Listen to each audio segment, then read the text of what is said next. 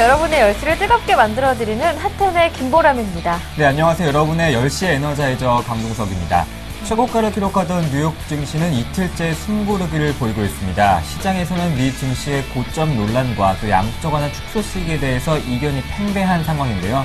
오늘 밤 발표되는 10월 미국의 FOMC 회의록을 앞두고 어떤 이야기가 나올지 또한 양적 완화 축소 시기를 가늠할 수 있는 발언들이 있을지 확인이 필요한 현재 시점입니다. 네, 뉴욕 증시 고점에 대한 부담이 그만큼 높아지고 있는 상황인데요. 네. 어제 2030선까지 회복을 했던 코스피는 오늘 다시 소폭 하락하고 있습니다.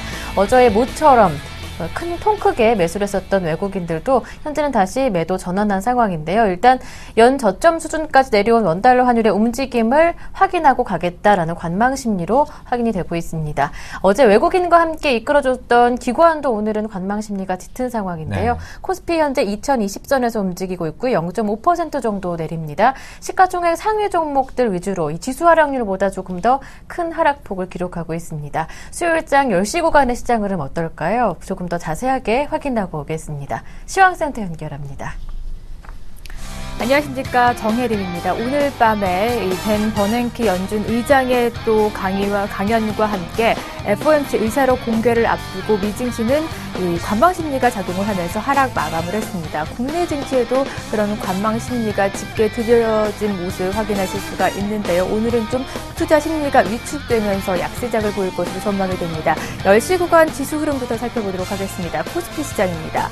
아, 코스피 사흘 만에 상승세를 뒤로하고 오늘 오늘 하락세로 전환했습니다. 약보합 출발을 했는데요.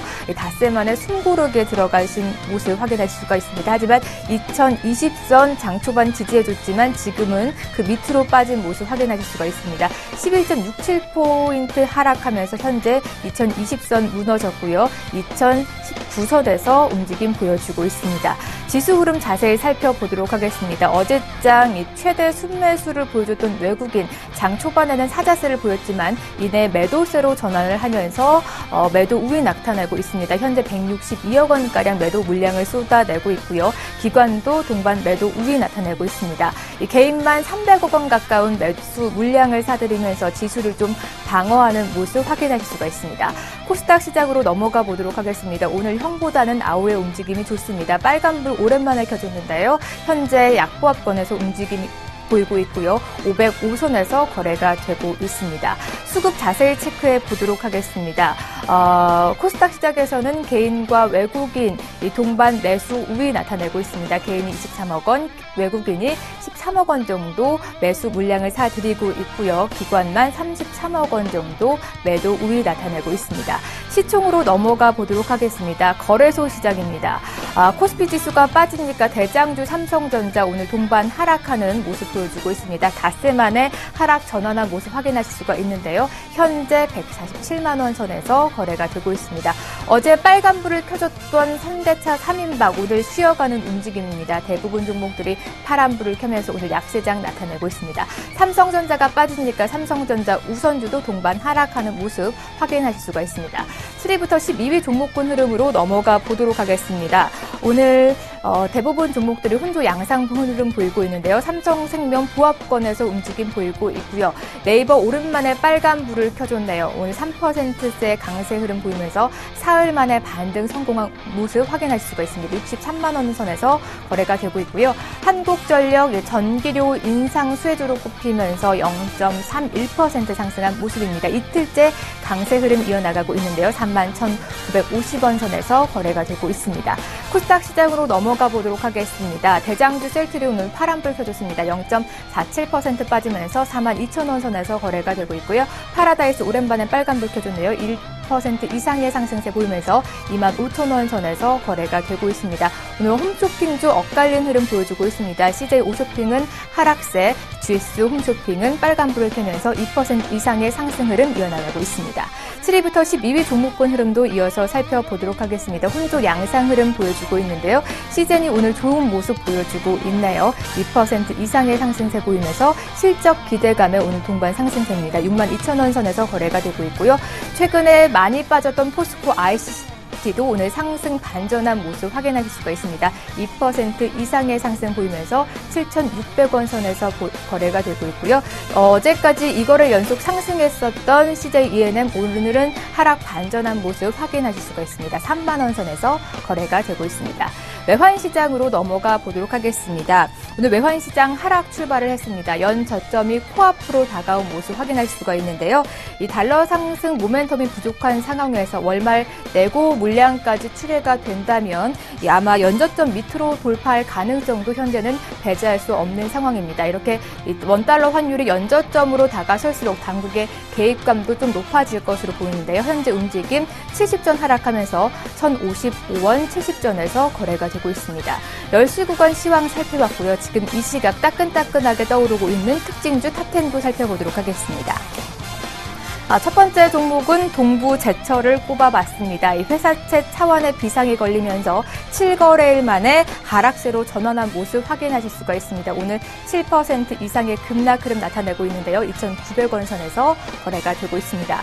아, 두 번째 종목은 삼화전기입니다. 전기료 인상으로 ESS, 이 에너지 저장 장치에 대한 기대감이 함께 커지면서 오늘 상승 흐름 이어나가고 있습니다. 7% 이상의 상승세 보이면서 7,000원 선에서 거래가 되고 있습니다. 있습니다. 세 번째 종목은 LIG 손해보험이 올라와 있습니다. 이 대주주 리스크가 해소가 되고 또 M&A에 대한 기대감이 더해지면서 오늘 상승 흐름 이어나가고 있는데요. 2% 이상의 상승세 보이면서 3만 1,000원에서 거래가 되고 있습니다. 네 번째 종목은 부산가스가 올라와 있습니다. 이 최대 주주인 SK ENS가 공개 매수를 결정한다는 소식에 오늘 상승 흐름 이어나가고 있습니다. 12% 이상의 급상승 보이면서 3만 7천원 선에서 거래가 되고 있습니다.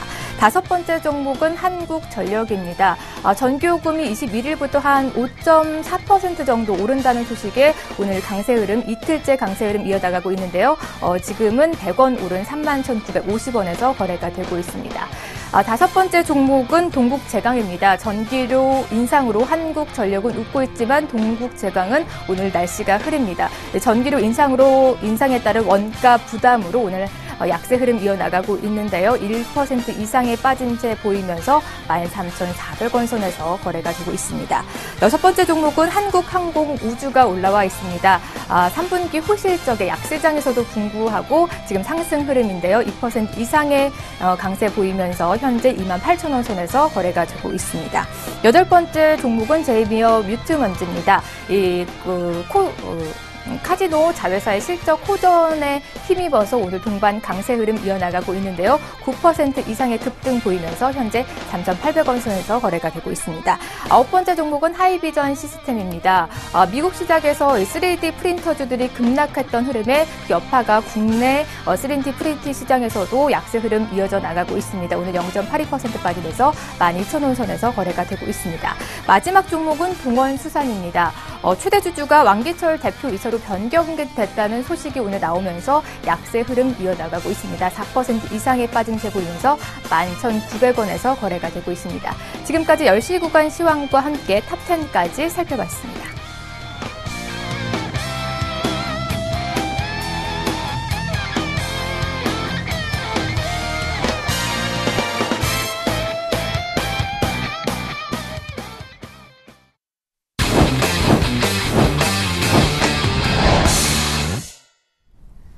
이번 순서는 오늘장 시장 키워드 시간입니다. 시장 전략과 전망 함께 들어보겠는데요. 네, 오늘장의 키워드로 오늘 시장 흐름 분석해 보면서 전문가의 전략까지 모두 확인해 보겠습니다.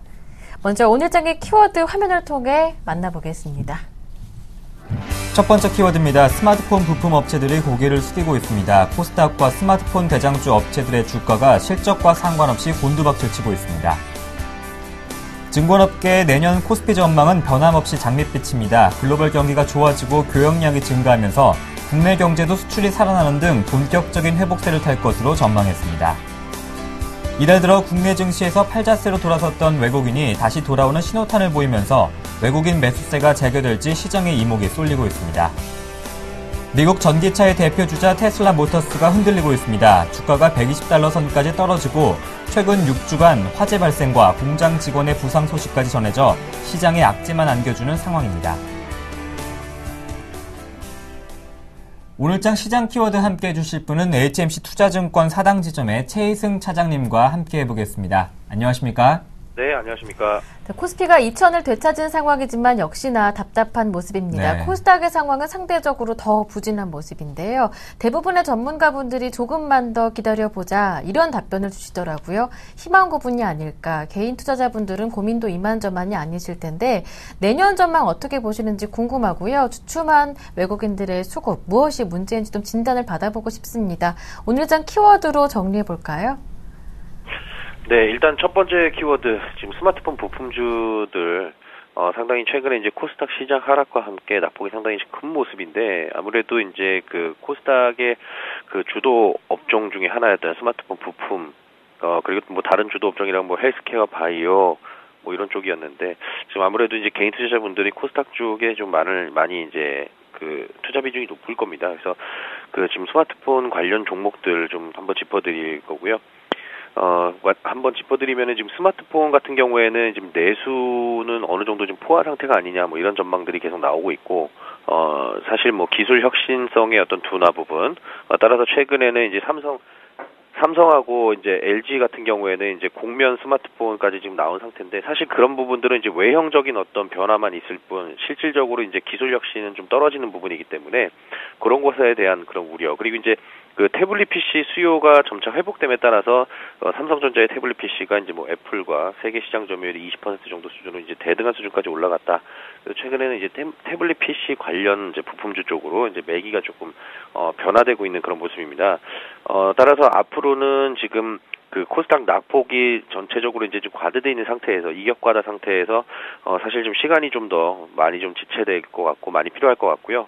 어 당장의 어떤 뭐 물타기식의 어떤 매수보다는 좀 기다려보는 전략이 가장 맞을 것 같고 지금 뭐 시장 그 코스피 시장이 워낙 좋다 보니까 코스닥 시장 쪽까지 지금 외국인이든 기관이든 지금 어 수급과 시선을 돌리기 좀 어려운 상황이다 이렇게 좀 말씀드릴 수 있겠습니다.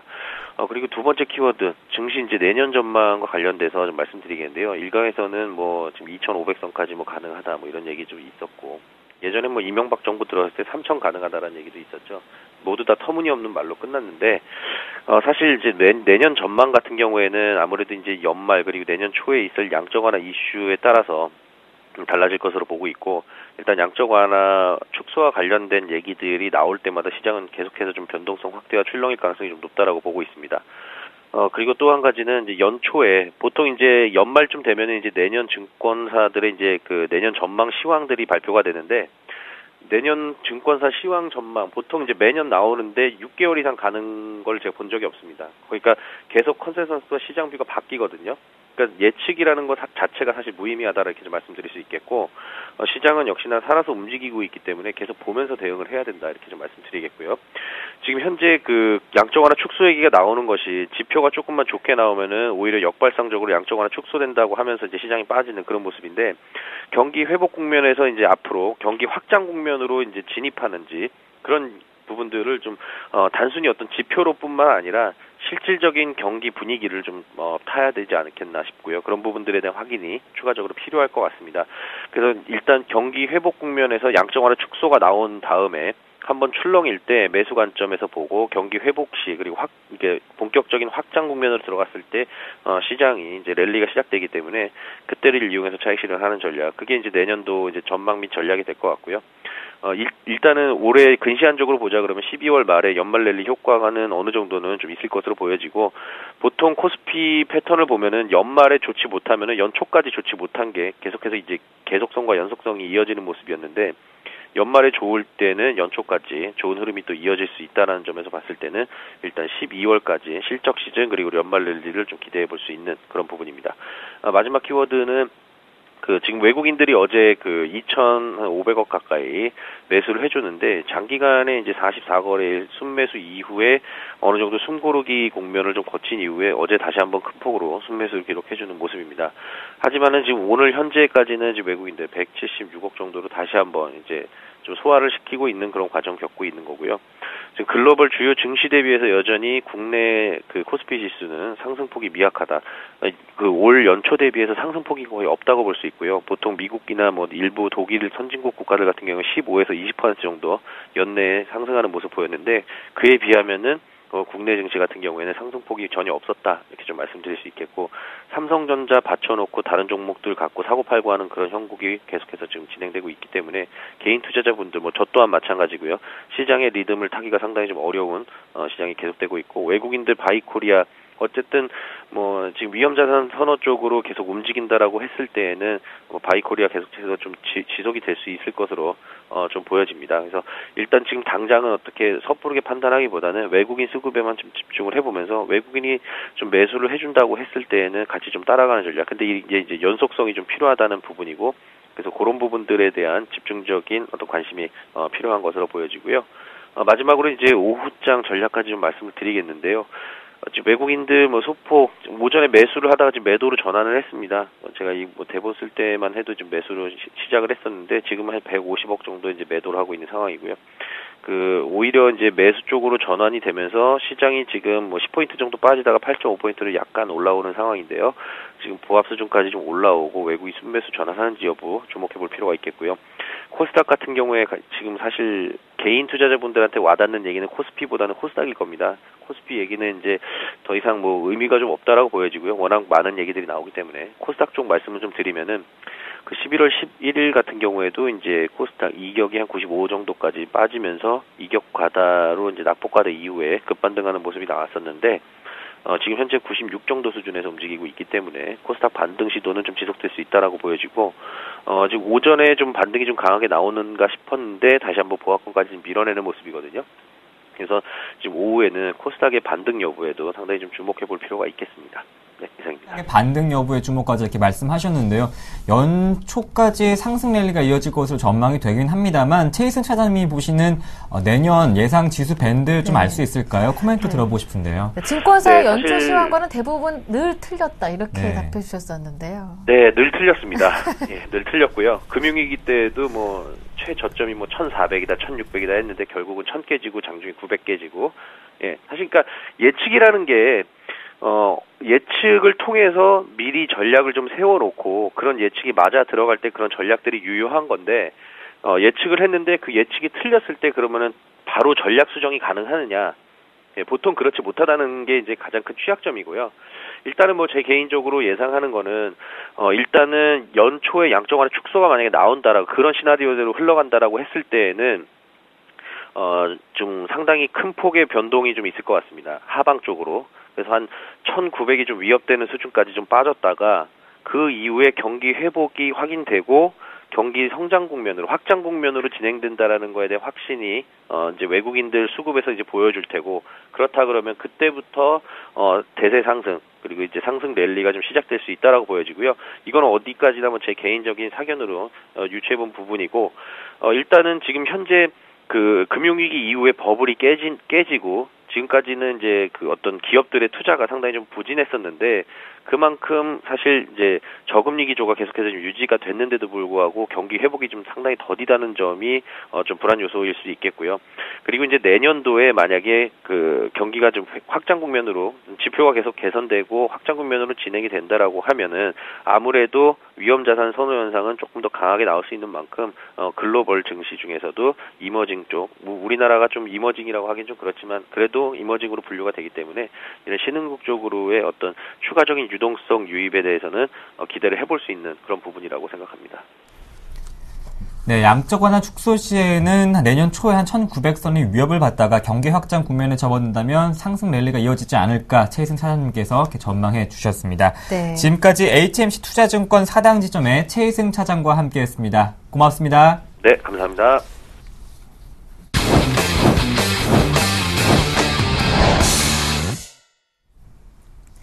시장에서 이슈가 되고 있는 종목 지금 사봐도 될까 많이 궁금하실 텐데요. 네. 그런 종목들 모아서 저희가 이효열 멘토님께 대신 여쭤봐 드리겠습니다. 이효열의 이주식 삽니까 시간 이어가겠습니다. 네, 샘플러스 이효열 멘토님 연결해 보겠습니다. 안녕하십니까? 네, 안녕하십니까? 네, 먼저 궁금한 종목 첫 번째는 현대위아입니다. 현대차 그룹의 증설 효과의 수혜를 많이 입을 것이다라는 기대감이 높아지고 있고요. 10월부터 가파르게 오르고 있거든요. 많이 비싼 가격이 아닐까 이런 생각이 드는데 지금 사보면 괜찮을까요?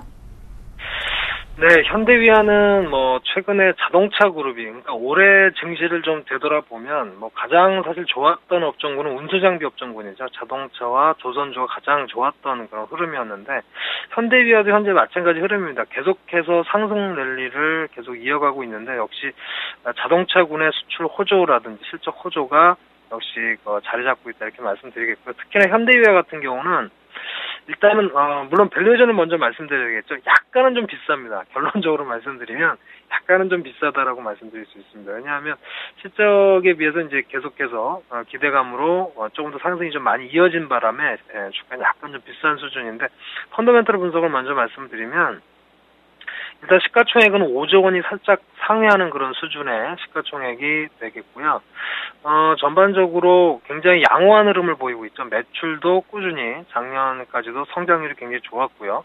올해도 매출 어, 성장 그리고 영업이익도 성장하는 꾸준히 성장하는 기업이다 말씀드립니다. 그래서 평균적으로 올해와 아, 작년에 보면 4천억 원 이상의 순이익을 기록하고 있다. 그렇게 본다면은 현재 5조 원 정도의 수청이 아주 비싸지는 않지만 그래도 다소 자본 자산의 흐름이라든가 이런 자산 가치를 대비해 봤을 때는 조금은 비싼 가격이 아닌가 이렇게 말씀을 드리겠고요. 다만 현재 흐름에서 중요한 것은 현대차 그룹의 해외 증설에 따라서 계속 올해 이제 기계 사업부가 실적이 턴어라운드 될 전망을 좀 가지고 있고요. 특히나 또 이제 해외 엔진 생산 능력이 확대가 되고 또 고마진의 부품 비중이 증가하고 있는 그런 흐름입니다. 그래서 그런 부분들이 작용을 하면서 계속 상승 추세를 이어가고 있다 이렇게 말씀드립니다. 그래서 지금 계속 신고점을 갱신하면서 올라가고 있는데요. 일단 고점 돌파 또 수급 여부가 중요하다 이렇게 말씀드립니다. 지금 흐름상으로 보면 수급적인 요소에서 좀 본다면 역시 뭐 기관 외인이 기관과 여기 모두 지금 매수 기조로 나타나고 있기 때문에 이 수급 기조가 계속 유지가 된다라고 하면은 일단 추세 상승은 계속 좀 이어질 가능성이 크지 않느냐 이렇게 말씀드리겠고요. 뭐 주봉이나 월봉상으로도 굉장히 좋은 신고가의 흐름이기 때문에 아직까지는 랠리가 유효하다 이렇게 말씀드리겠습니다. 다만 매수하는 입장에서 본다면 추격 매수가 뭐 최근에 시황을 좀 대비해 본다면 조금 부담스러운 그런 흐름인데요. 그 매수 관점에서 본다면 역시 19만 원 초반 정도를 매수 관심가로 네, 가져가시는 게 좋지 않을까 이렇게 말씀드리겠고요. 어, 지금 시장에서도 목표가는 상당히 높게 나온 상황입니다. 그래서 계속 상승을 또 성장세를 이어가고 있기 때문에 목표가는 25만 원으로 말씀을 드리겠습니다. 네. 고점 경신하고 있는 현대위아 오늘 네. 첫 번째 종목으로 질문을 드렸는데요. 일단 실적 턴어라운드를 고려한다면 약간 조금 비싸다 말씀해 주셨습니다. 19만 원 초반에서 다지고 갈 때 한번 매수해 볼 수 있을 것 같다 전망해 주셨고요. 목표 가격은 25만 원까지라고 정해 주셨는데요. 그렇다면 기간은 어느 정도로 예상하시는 건가요? 네, 기간을 본다라면은 지금의 속도의 흐름으로 본다면 뭐 3개월 안에 뭐 흐름을 한번 기대해 볼 수 있지 않나 생각이 좀 되고요.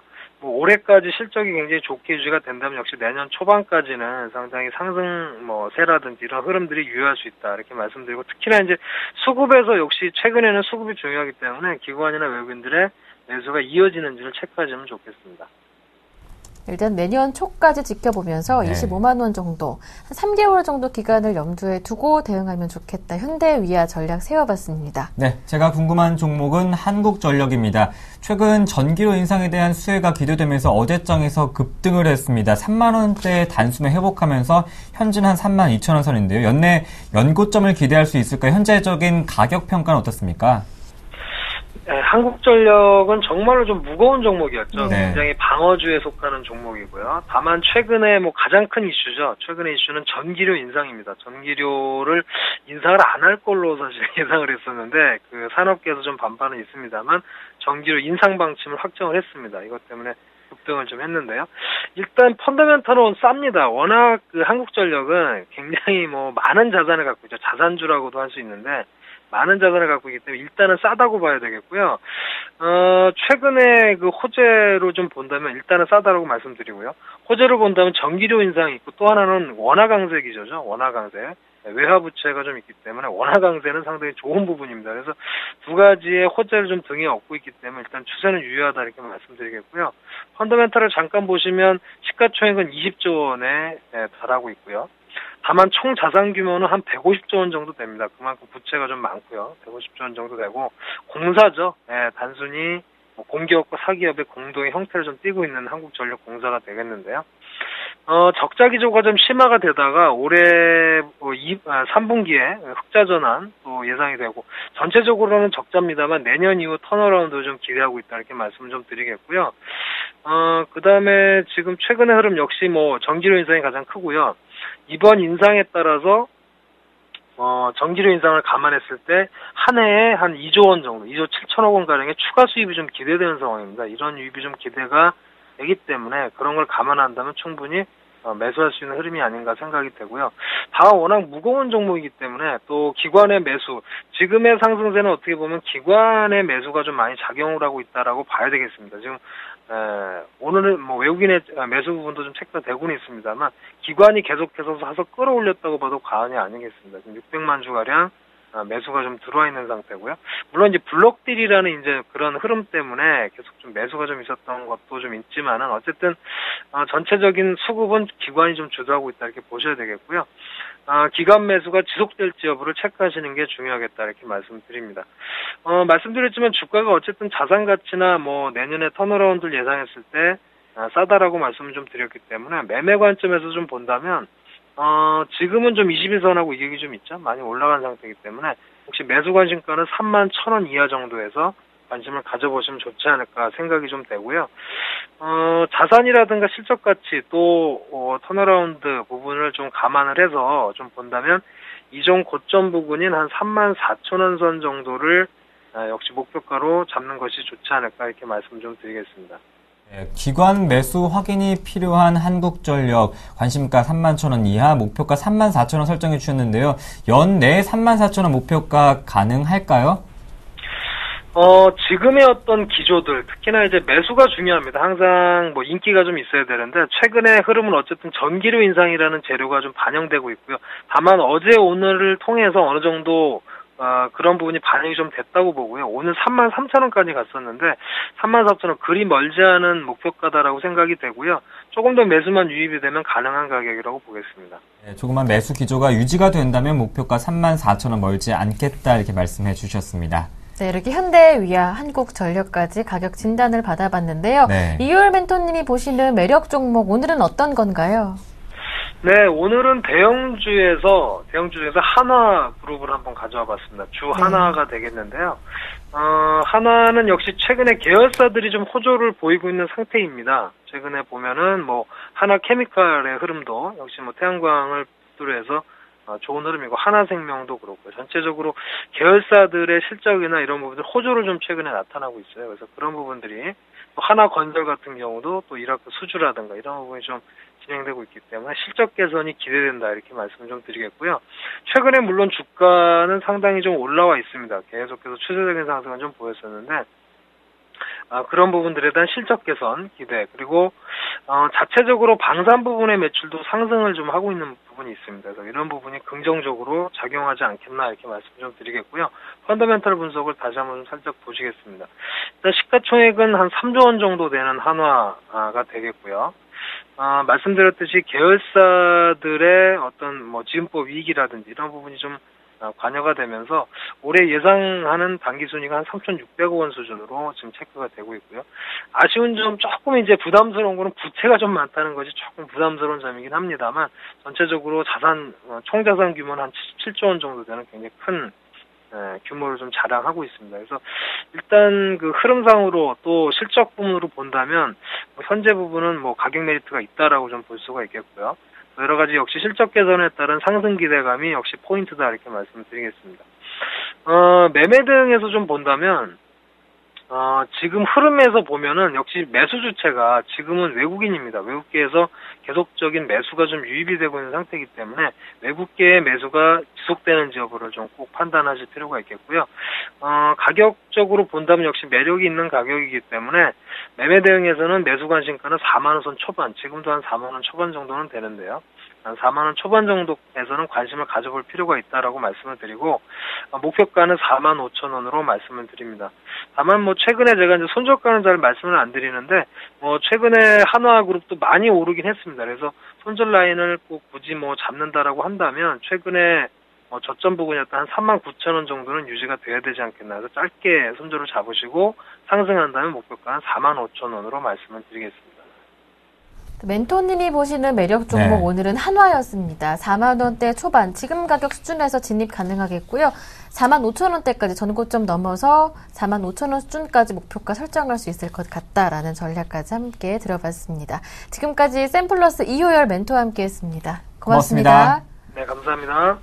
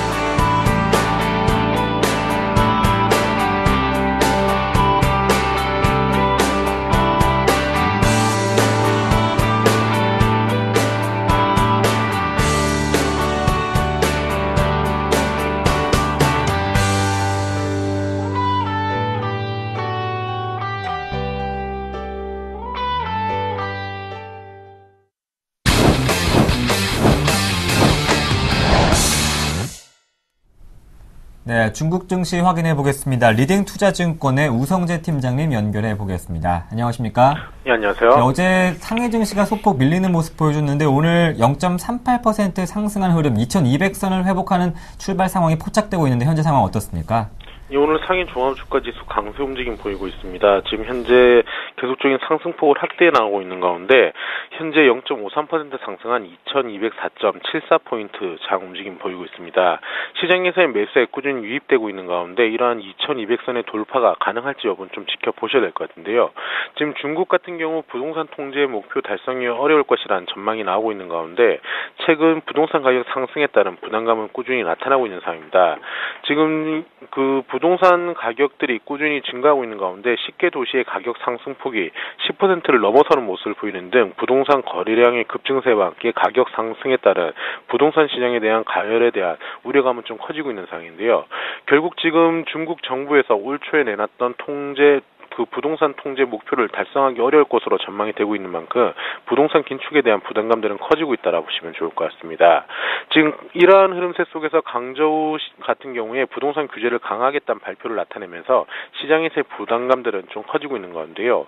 지금 1가구 2주택 담보 대출에 대한 선지급금 비중을 70%로 인상한다는 발표가 나오면서 부동산 가격 통제를 위한 움직임은 꾸준히 이어져 나갈 것으로 보이고 있습니다. 지금 중국의 1월부터 9월까지 서비스 무역은 전년 대비 13.4% 증가하는 등 서비스 업종에 대한 기대감들은 꾸준히 느- 늘어나고 있는 모습을 보이고 있는 가운데 중국의 정책에, 대, 정책에 대한 기대감 속에서 중국 증시 상승세를 나타내고 있는 가운데 오늘 2200선의 돌파를 할 수 있을지 여부를 좀 확인하시면서 접근하셔야겠습니다.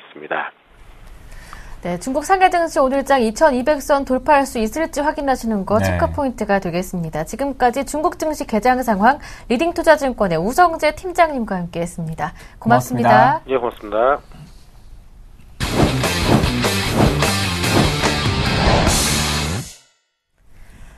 이어지는 순서는 가치 투자에 대한 궁금증 말끔하게 해결해 드리고요. 네. 전문가의 엄선된 종목까지 찾아보는 시간입니다. 가치 투자 진득하게 위대하게 순서인데요. 네, 수요일에는 이분을 만나보겠습니다. 동부증권의 우재근 차장님 스튜디오에 나오셨습니다. 안녕하십니까? 네, 안녕하십니까. 본격적인 가치 투자 오늘도 시작해 네. 보겠습니다. 오늘은 차장님 어떤 종목 들고 오셨나요? 네, 오늘은 기아 자동차입니다. 네.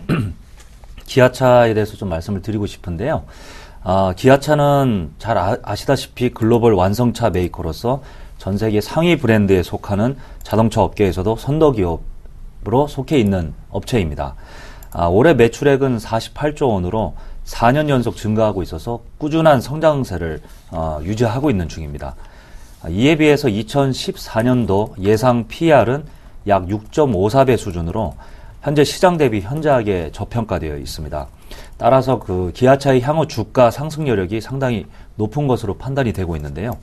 어, 올해에 이어서 내년도에도 성장세는 지속될 것으로 예상을 하고 있습니다.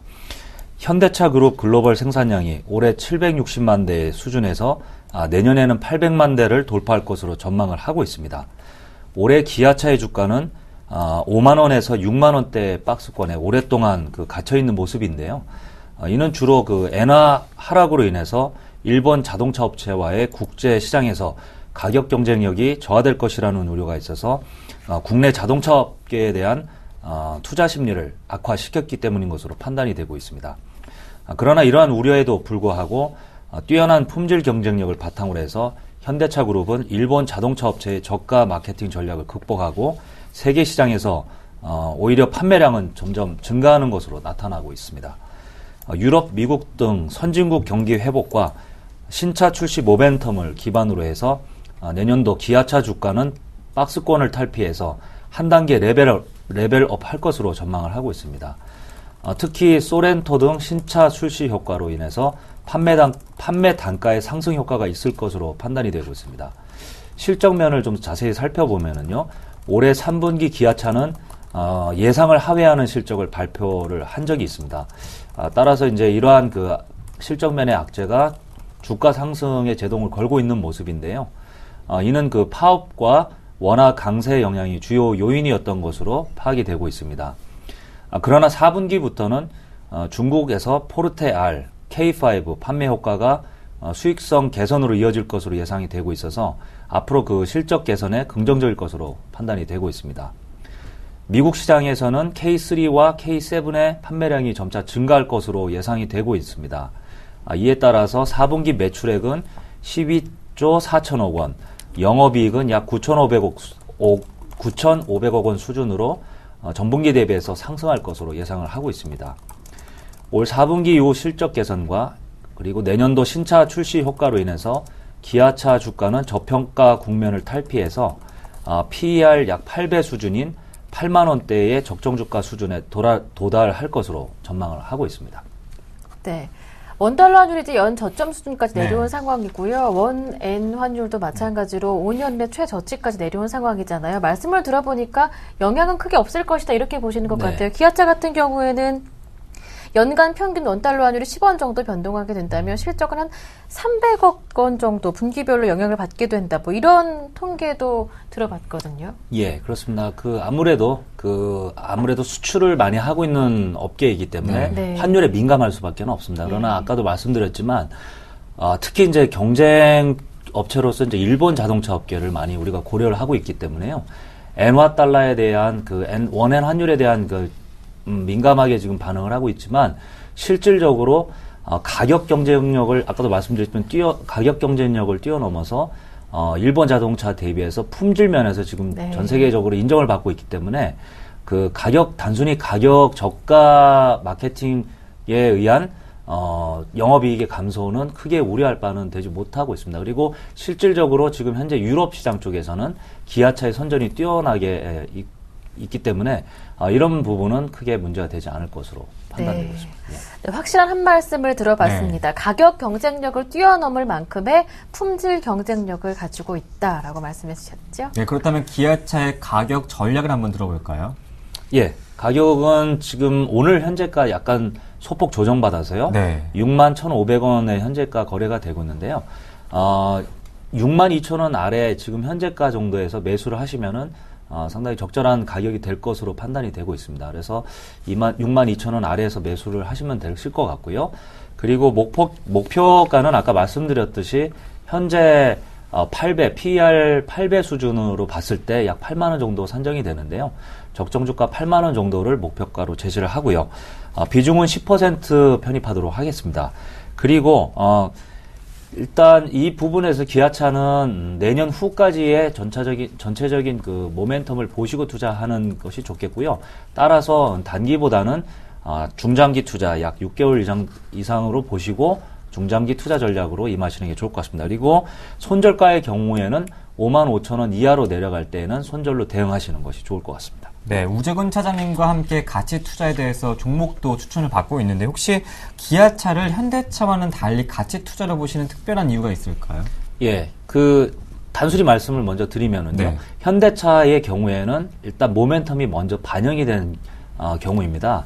아, 기아차보다 현대차가 최근에 중국 공장 가동률도 높아져 가, 가고 있고요. 신차도 어, 조금 더 빨리 예, 출시되는 효과가 있기 때문에 이미 시장에서는 어, 기아차 대비 현대차의 이런 프리미엄을 반영을 해서 먼저 선취매하는 성향이 있었습니다. 그래서 약간은 어, 현대차는 지금 현재 조금 밸류에이션이 약간 높아져 있는 상태이기 때문에 어, 밸류에이션 측면에서 봤을 때는 기아차가 현대차보다는 현재 시점에서 조금 더 매력이 있다고 보겠습니다. 네, 더 오를 수 있는 기아차가 가치 투자에는 적격일 것이다 이렇게 말씀을 해주셨습니다.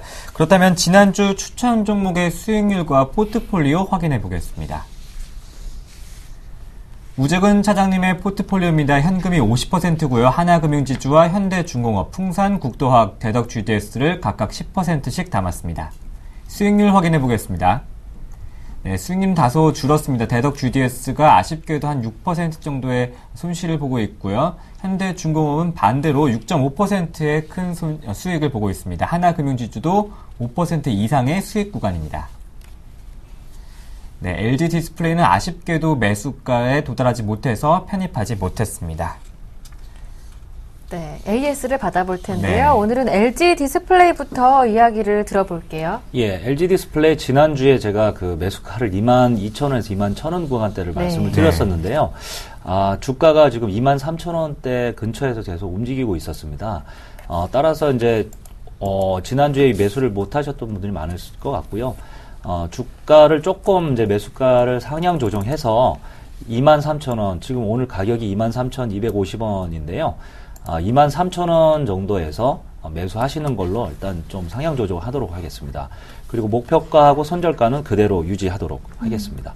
네, LG 디스플레이 예상하셨던 것보다 조금 더 강하게 움직였습니다. 매수 가격을 상향 조정하셨는데요. 네. 23,000원대. 지금 가격대라면 어, 진입해보기 괜찮다라고 말씀해 주셨고요. 목표 가격이 35,000원, 손절 가격은 18,000원이니까 관심 있는 분들은 LG 디스플레이 전략 참고해 보시길 바랍니다. 네, 다음은 포트폴리오 중에서 가장 큰 손실을 보고 있는 종목인데요. 대덕 GDS입니다. 현재 오늘장에서 한 1%의 소폭의 오름세 보여주면서 손절가 위에는 움직이고 있습니다만 매수가 아래에 서 현재 상황인데요. AS 부탁드릴게요. 예. 지금 차트를 잠깐 말씀을 드리, 보고 말씀을 드리면은요. 네. 네. 제가 이제 손절 가격을 18,000원을 말씀을 드렸었습니다. 그런데 이제 어제 같은 경우에 대덕 GDS가 장중에 이제 저가에 18,000원을 저점을 찍고 지금 네. 이제 반등을 하고 있는데요. 일단 18,000원 손절가를 말씀을 드렸음에도 불구하고 현재 저가를 강하게 어, 어제 같은 경우에도 18,000원 이하로 강하게 밀려 내려오는 모습을 안 보였기 때문에 네. 일단 오늘 하루 이틀 정도 이번 주까지 조금 더 보시고 결정을 하시는 게 좋을 것 같고요. 어, 일단은 그 18,000원대를 일단 저는 저점 그 지지선으로 보고 있는데 혹시라도 이제 이 선이 무너지게 된다고 한다면 어, 손절로 처음 계획대로 손절 대응하시는 게 좋을 것 같습니다. 우선 이제 그렇게 강하게 무너지는 모습이 안 보이기 때문에 어, 오늘 내일 해서 이번 주까지는 좀 지켜보시고 반등이 나온다고 한다면은 어, 보, 유하시고 조금 더 상황을 지켜보시는 게 좋을 것 같습니다. 네, 말씀하셨던 대덕 GDS 손절가 18,000원이 강하게 무너지지 않는다면 좀 보유해보자 이렇게 말씀해 주셨습니다. 네, 이번에는 좀 수익을 내고 있는 종목 들어볼게요. 현대중공업인데요. 네. 오늘 장에서도 한 0.5% 정도 오르고 있습니다. 수익 또한 6% 이상으로 내고 있는 종목인데 목표 네. 가격이 33만 원이었습니다. 현재 진단 어떻게 하시는지 궁금해요. 예, 현대중공업은 그대로 이제 보유 어, 하시길 어, 권해드리고요. 네. 지금 차트를 보시면은요, 저희 포트폴리오 중에서 가장 주력 종목에 해당되고 있는데요. 그 월봉으로 잠깐 보여드리도록 하겠습니다. 현재 차트상으로 봤을 때의 2008년도 가장 낮은 이제 저점이 약 15만 원 정도 수준이었었고요. 이때는 이제 전 세계적으로 금융위기가 발발했을 때였기 때문에 전반적으로 이제 어, 약세를 보였었고요. 그 이후에 이제 6, 55만 원까지 갔다가 다시 이제 20만 원 선 바닥을 어, 지지하고 지금 현재 올라와 있는 중입니다. 저번에도 말씀을 드렸지만 현재 그 조선업에서 현대중공업이 가장 수주를 많이 하고 있고요. 그리고 현재 수주액 달성액으로 봤을 때는 어, 2008년도 호황 시기 어, 그리고 11년도 호황 시기 때에 거의 그 수주액에 맞먹는 상황, 어, 지금 수주를 하고 있는 중입니다. 그래서 어, 주가상으로 봤을 때도 앞으로 상승 여력은 더 많이 있다고 보겠습니다. 그래서 보유로 대응하시기 바랍니다. 이상. 네, 이렇게 AS 모두 받아봤는데요. 네. 마지막 종목까지 현대 중공업까지 AS 받아봤습니다. 믿고 꾸준하게 목표가까지 홀딩하시는 것 괜찮겠습니다. 네, 지금까지 동부증권의 오재근 차장님과 말씀 나눴습니다. 고맙습니다. 고맙습니다. 네, 감사합니다.